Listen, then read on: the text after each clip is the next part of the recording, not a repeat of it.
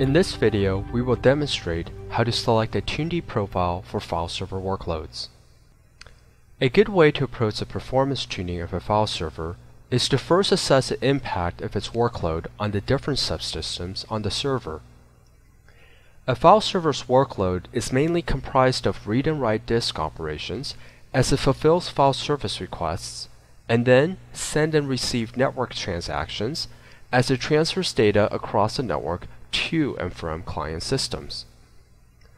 Therefore, the tuning of file server performance should be focused on the disk and network subsystems.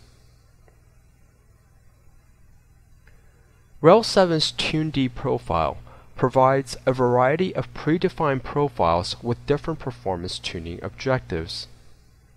Of these profiles, there are four which are good starting points for tuning servers for file server workloads throughput performance, latency performance, network throughput, and network latency.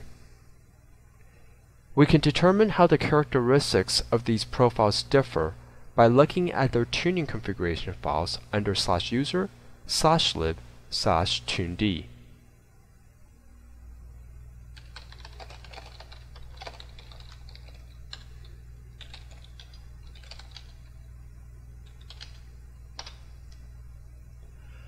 The throughput performance profile sets a CPU governor and energy performance bias to performance, and disk read-ahead value is increased beyond the default value to 4096.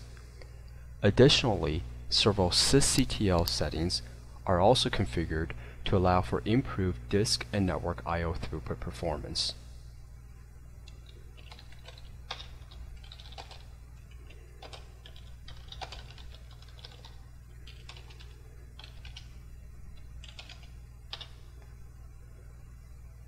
The latency performance profile also sets the CPU governor and energy performance bias to performance. This statically sets the CPU at the highest clock frequency and prevents a latency which would otherwise occur when CPU frequency is switched as workload fluctuates.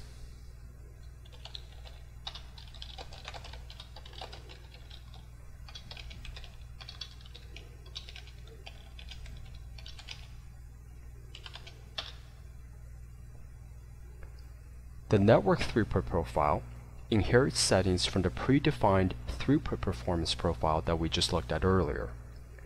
In addition, it increases kernel network buffers to boost network performance.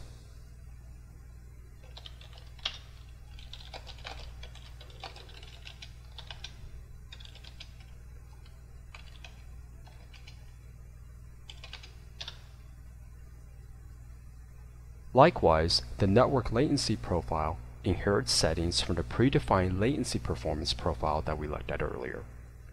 In addition, it disables transparent huge pages and NUMA balancing, as well as tunes several network-related sysctl parameters. Not all file server workloads are equal. The workload characteristics can vary greatly between an Office file server serving out small document files and a file server which provides virtual machine images to hypervisors. Therefore, administrators will need to determine which of the four predefined profiles that we just looked at is best suited for the workload on the system they are tuning. If none of the predefined TuneD profiles suit your need, you can consider creating your own custom TuneD profile. For example, let's say we like the predefined network latency TuneD profile for our file server, but want to additionally tune the disk read-ahead setting. We can accomplish this by creating a custom profile called file server. This is done by creating a directory called file server under slash etc slash tuned and then creating a tuned.conf configuration file in that directory.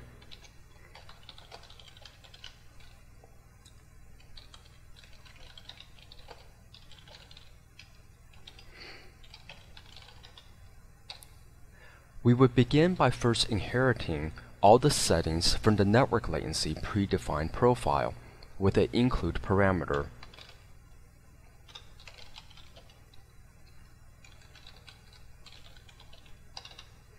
Next, we would additionally specify a read-ahead setting for disk devices like so.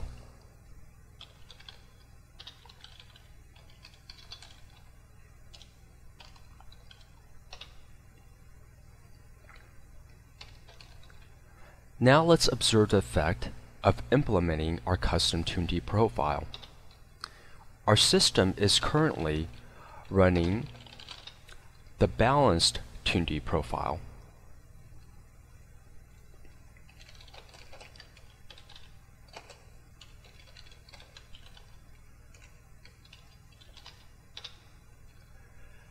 Looking at its configuration, we can see that the balanced profile makes no changes to the default disk read-ahead setting.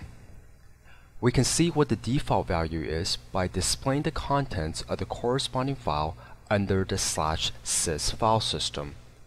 Let's look at the contents of this file for our primary disk device.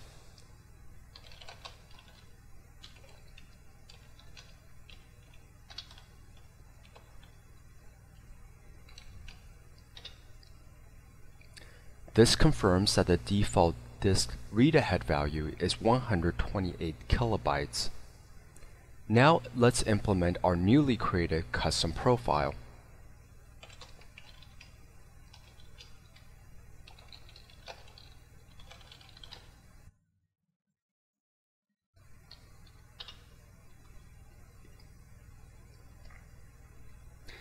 If we execute our previous command, we can see that the disk read-ahead setting has now been increased to 4096 kilobytes.